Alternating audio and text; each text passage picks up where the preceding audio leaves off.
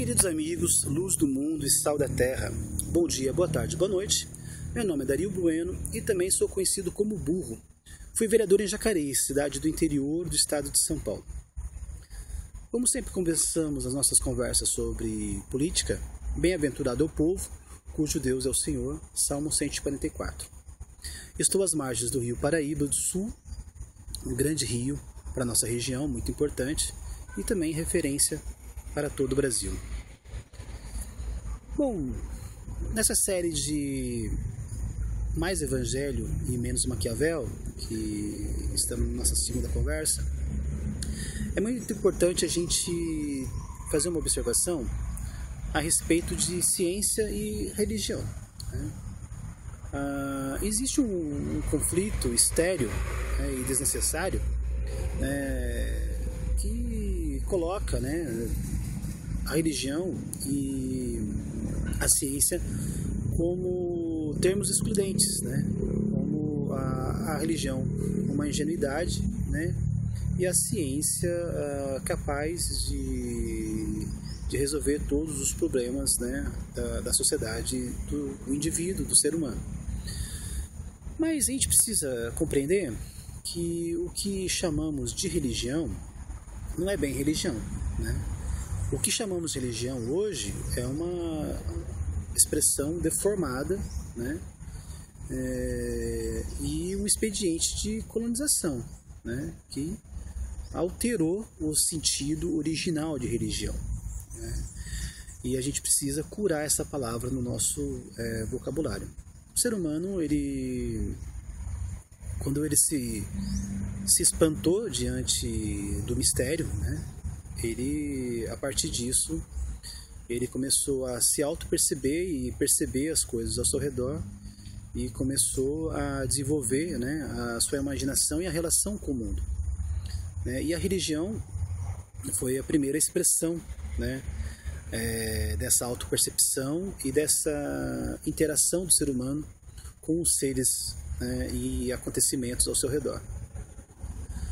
Ah, então, a religião ela é, ela é encontro né, do ser humano com o Criador.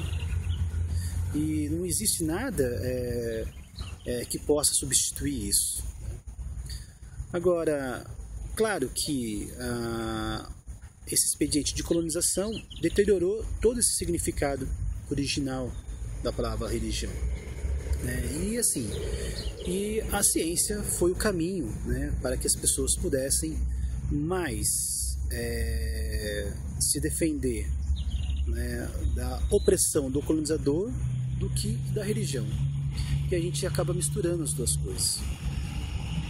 O Evangelho, né, é, Jesus, que é a sua maior expressão, porque o Evangelho não começa com Jesus né, e muito menos termina né? mas Jesus é a grande expressão do Evangelho, né? Ah, em nada ah, ele conflita com a ciência, muito pelo contrário. Né? O Evangelho é um movimento que promove a, a ciência. Né? Nada mais científico do que conhecer a verdade né? e a verdade é, te libertar. Né? Esse binômio né? e essa relação de causa e efeito entre verdade e liberdade é uma expressão do Evangelho. Né? E não fosse só isso, né? o Evangelho ele insiste né, nesse ponto, que é o seu, na verdade, o seu motor. Né? Venha e veja. Não existe nada mais positivo do que isso. Né? Então a gente precisa né, ler o Evangelho para ter uma compreensão é, melhor, né, com mais intimidade com o Evangelho e não acusá-lo né, de maneira vazia e não rejeitá-lo né, de maneira fútil. Né? Então, assim, a gente precisa né, orar e vigiar. E se a gente fizer uma interpretação né, desses dois termos, né, orar é refletir e vigiar é observar. Também nada mais né, uh, cientificamente metódico né, do que esse comportamento né, de observar a experiência e refletir sobre o, a causa ou efeito né, desses acontecimentos. Muitas pessoas da política adotam Maquiavel e, e, e acham que Maquiavel é, é, mais adequado que o Evangelho, né? Porque o Maquiavel ele não se manifesta, não se autodeclara religioso. Né? E como se bastasse é, a sua não declaração religiosa, né? É uma, uma, como se fosse algo su suficiente né, para dizer que ele seja científico. Embora é, Maquiavel tenha contribuído com suas observações, né, a gente precisa também considerar que uh, o príncipe, principalmente, é um manual de instrução né, de sobrevivência né, às intrigas palacianas. Né? Então, para que uh, preserve-se o trono do príncipe né, e o príncipe possa governar, né, quem sabe, de acordo com seus próprios caprichos, né, nem sempre em benefício do, da população. Né? A população é algo secundário né, na, nas instruções que Maquiavel é, dá ao príncipe. E o evangelho ele é mais digno né, nessas questões, porque o evangelho ele é uma ferramenta, um movimento de libertação dos povos. Né? Então, é, o evangelho ele questiona as autoridades, o comportamento das autoridades, né? e, e dá condições, né? motiva as pessoas a se emanciparem. Então, compreendendo isso, né, uh, eu escolho né, o Evangelho como o meu código moral. Né? E isso é muito importante, porque no momento político que o Brasil está vivendo hoje, né, das passeatas, fora Dilma, fora PT, a gente precisa compreender que não adianta exigir moral de quem não tem moral. E mais do que isso, né, as pessoas né, já não estão dispostas a, a respeitar né, as regras, porque moral é justamente isso, né, o respeito às regras. Né. E, uh, além disso, existem vários códigos morais né, que coexistem e uns estão sobrepostos ao outro, é, justamente pela nossa dinâmica né, de sobreposição de, de, de culturas né, devido às guerras de colonização. Né? Embora nós uh, aspiramos por um mundo de paz, nós não podemos nos esquecer que herdamos né, e ainda estamos condicionados né, a um comportamento de guerra. Né?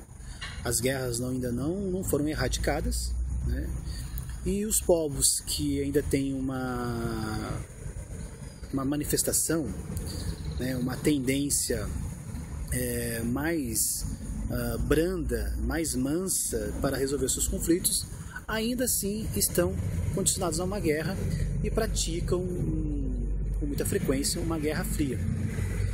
Então a gente precisa compreender isso, que existem vários códigos morais, né? E quem não é colaborador né, do seu código moral, né, ele está muitas vezes consciente ou inconscientemente colaborando né, com um código moral de grupos né, que pretendem colonizar uns aos outros. Né? E essa é a primeira percepção que a gente precisa ter. É, então, assim, código moral, né, esse conjunto de regras, que ou ele é, exige, é praticado né, uh, respeitado por amor ou ele é respeitado pelo medo. Né? É isso que Maquiavel nos, nos mostra. Né? E, e o Evangelho né, no, nos convida a respeitar um código moral né, que só vale a pena ser respeitado, né, que só é digno de ser respeitado pelo amor. Né? Então, assim, mais uma mostra né, da grandeza do Evangelho perante as situações. Então, mais um código moral, ele se apoia em alguns fatores, né? E o principal deles é o legislador desse código moral. É porque você pode respeitar as regras, mas quais regras? Né? E essas regras, elas uh, têm quais objetivos, né? Quais princípios? Né? É, todos nós temos a esperança que todas as regras nos levam ao bem. Mas não podemos esquecer que os piratas também têm o seu código moral. né? Quem não respeita as regras né, dos piratas né, vai para prancha. Né? E por quê? Porque a moral, ela no seu bojo, ela tem assim uma exigência de comportamento para que a sociedade seja colaboradora, né? Para que os indivíduos sejam colaboradores entre si, uh, querendo ou não, né? Para que a sociedade possa funcionar da melhor maneira possível e os conflitos sejam menores. Mas aí é o legislador que vai definir esses objetivos. Né? É o legislador que vai definir esses princípios. E nós precisamos uh, nos aproximar desses legisladores né, e ter uma relação, né, um diálogo com eles, para que esses objetivos sejam os melhores possíveis. Né?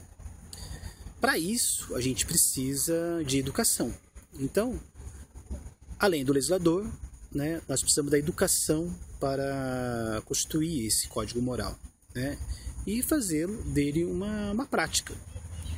E para completar né, esse conjunto, nós temos a polícia. Né? É, porque o código moral, na verdade, essas regras, né, elas só vai nos permitir, né, dar-nos garantia de punir as pessoas que não colaboram com um determinado projeto.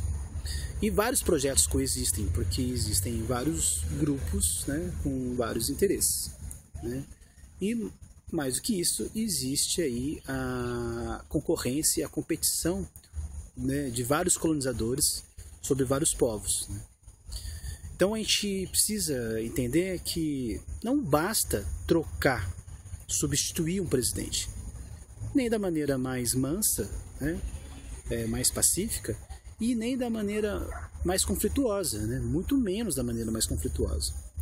Ah, porque um, um, mínimo de ordem é necessário né, para que a colaboração entre os indivíduos né, seja bem sucedida a partir disso a gente possa alcançar né, vários objetivos uh, que a gente já determinou.